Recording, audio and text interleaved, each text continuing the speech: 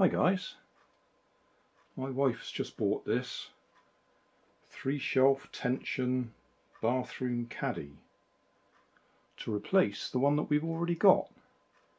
Uh, we've had it about 10 years and it's going rusty. So she's bought another one. £14.99 at B&M. I've already taken it out the box and checked everything's there. So we'll follow the instructions.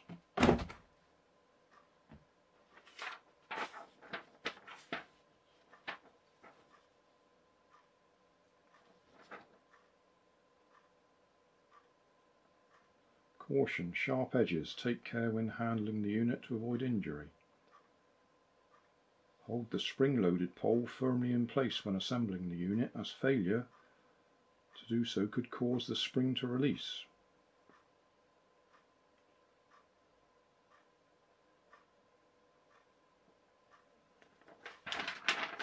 Now on the one that we used originally I had to cut it to make it fit. Well, well, we'll follow the instructions first and then I'll worry about whether we can fit it or not. Step 1. Place the safety caps L on the end of each wire on the base of each storage shelf J. That's these little fellas going on here.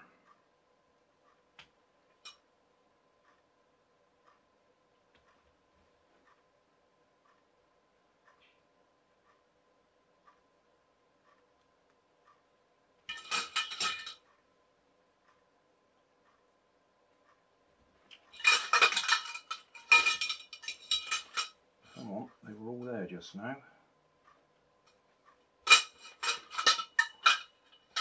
Ah, there it is. Right. I did check they were all there before we started. Okay, done that bit. Step 2, fit thin pole cap A onto the top of the thin pole G. That's the thin one because it's thinner than all the others. Thin pole cap. A. That one. There's only one that looks like that. On the top, done. Slide pole adapter B onto thin pole G with open end facing downwards. Then attach thin pole end E to the bottom of thin pole G. Right, that's the only one that looks like that. So that goes on there with the opening at the bottom. And that's the only one that's small enough to go on there.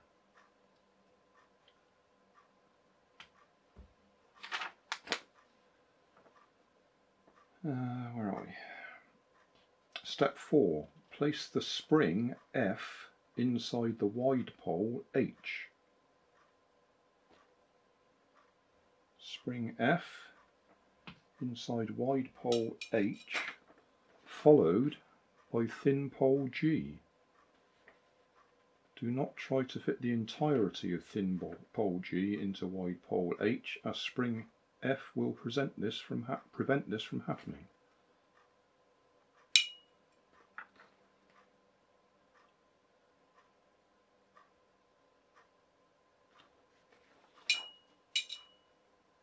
That's going in there.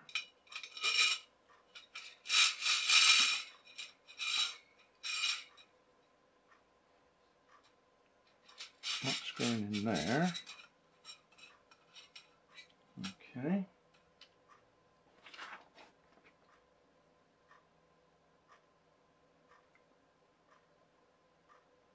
Slide pole adapter B further down thin pole G and fix it onto the, onto the wide pole H. Once assembled, placed to one side for later use. So that's that piece. It's got to come down onto the top of there.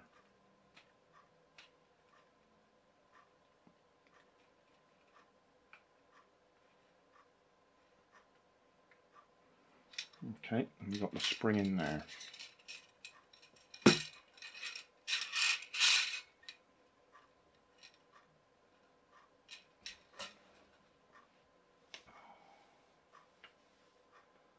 Select a tapered pole, I, that's one of these,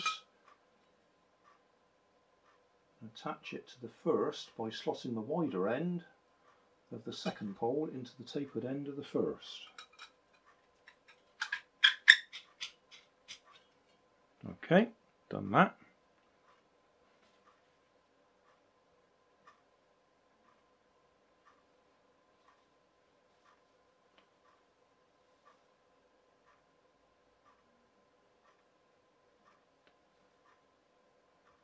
Will create the base of the unit.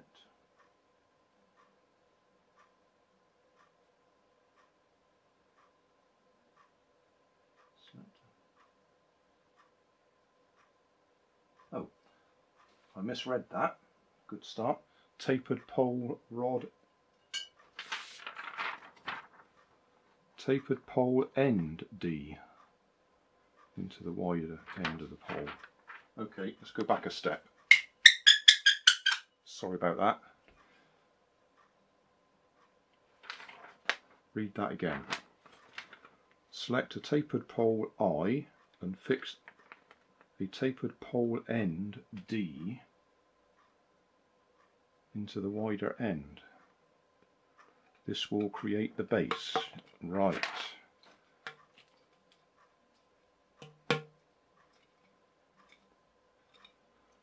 Okay, better.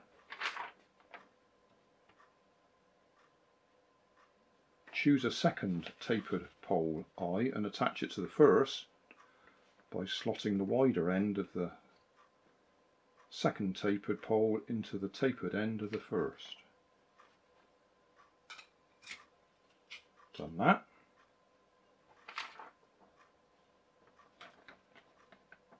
Fix a black ring C onto tapered pole I and slide it down until it reaches the desired position for the bottom shelf.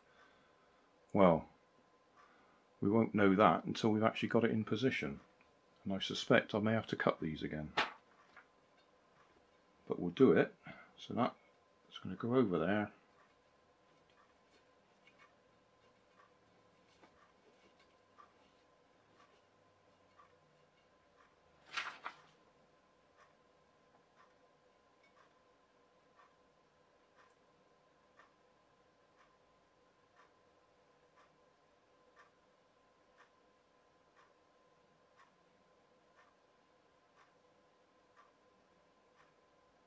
slide a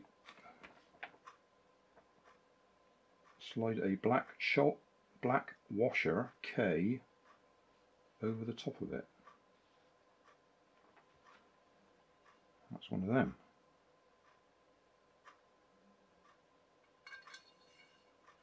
That will lock itself in place.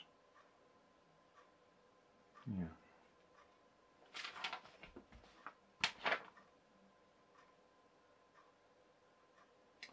Slide storage shelf J onto top tapered pole until it reaches black washer.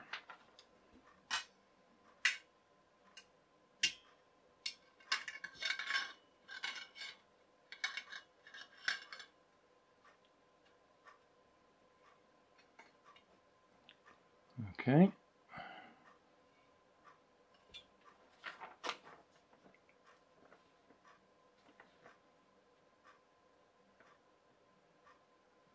Yeah, I'm not going to push it down hard yet because I may want to change those positions.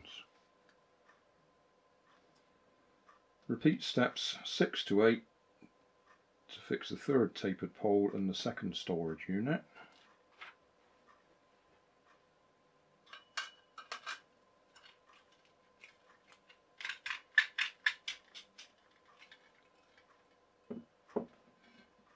Ring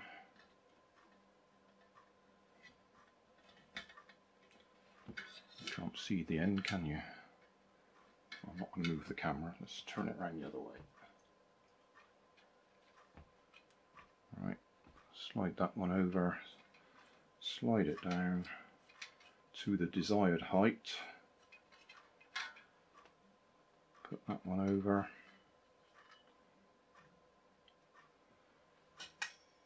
Put that one over.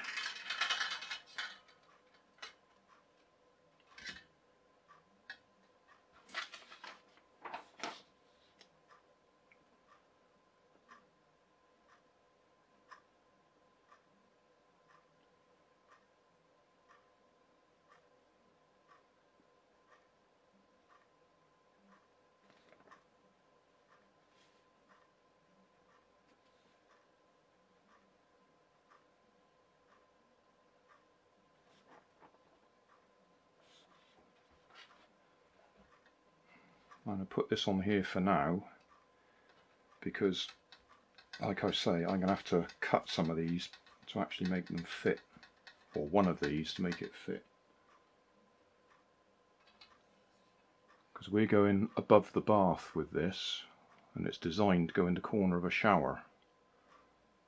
So it goes right down to the ground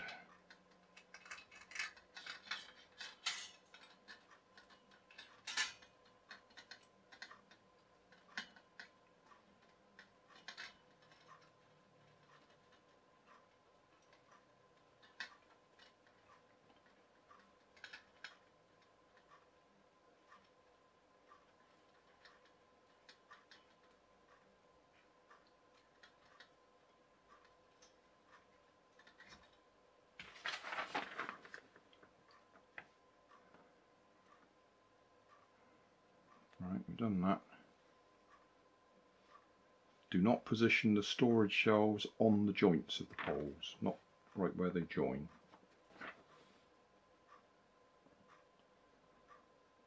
Select the pole assembled in steps 2 and 4 and attach it to the top. So that is going on there.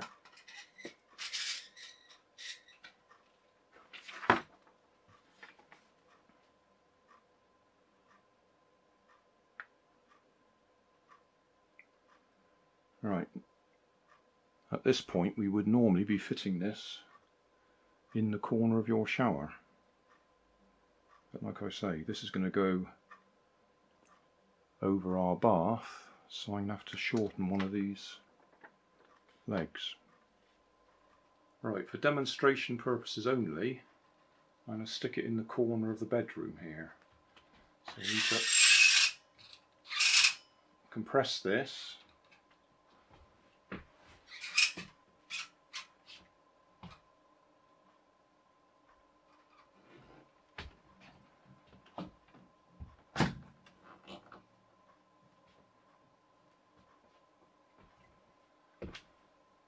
and that's it.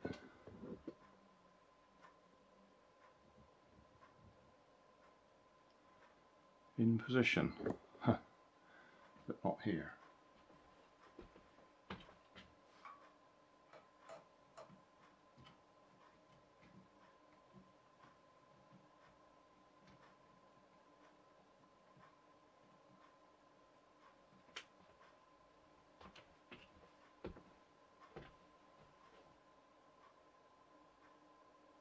Yeah, well, there you go.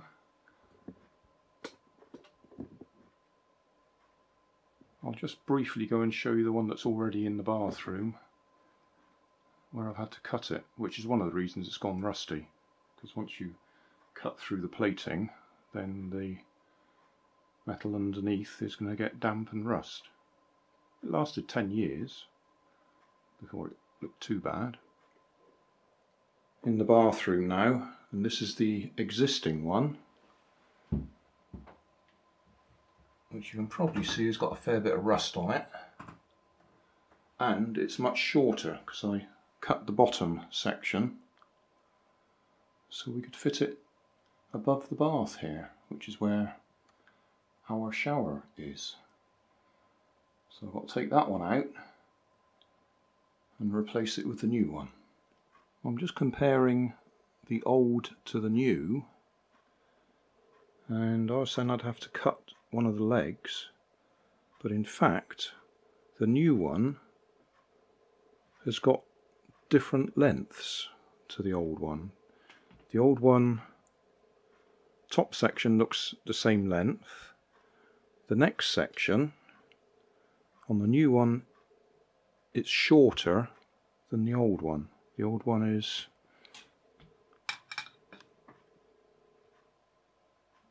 yeah, a little bit longer, about two inches longer or five centimeters. No, more than that. I haven't got that in the right position. Line it up with the edge. Yeah, it's about three inches or 10 centimeters shorter on the new one compared to the old one. So on the old one I used one, two pieces and had to cut that one off there. With the new one I think I can just leave this one out entirely and I've probably got enough length with just these two units without cutting it. So that's what I'll go and try. Well, that's a real bonus. It did fit in place without me having to cut anything. Just left off the bottom section.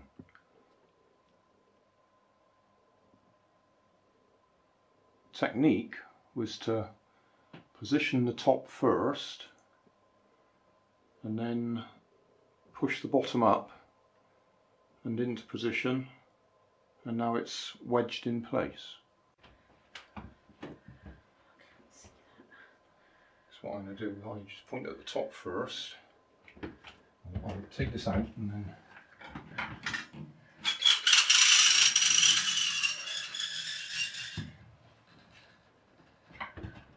right, so right at the top.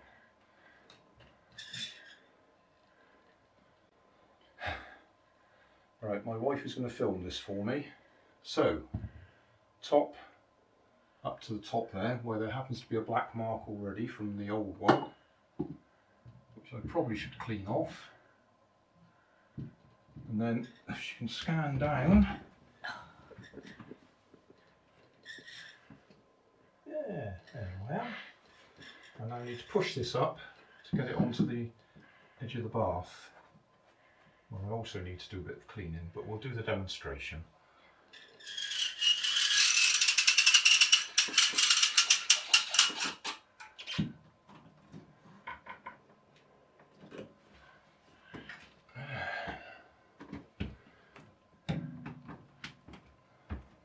Right, so there we are in position. Now I'll adjust the shelves to the height required. Just for the record, rust, rust, rust. I can't even separate those two pieces. Rust, rust. Uh, the top piece is okay, doesn't appear to be rusty. And still got the spring in there, that looks okay. But these trays have had it. And I've got a spare tube. So that'll go into my stock of bits and pieces. That can go in as well. I'll probably put that one in even though it's a little bit corroded because it's got it'll hold the spring still for me but the rest of it I think we can scrap. Hey, thanks for watching. There's plenty of videos on my main channel with more added daily, so don't forget to subscribe and enable the notifications to keep you up to date with my new releases. You can help keep my channel running by donating a dollar on Patreon to buy me coffee. You can always find more information in the video description. Thanks again for watching.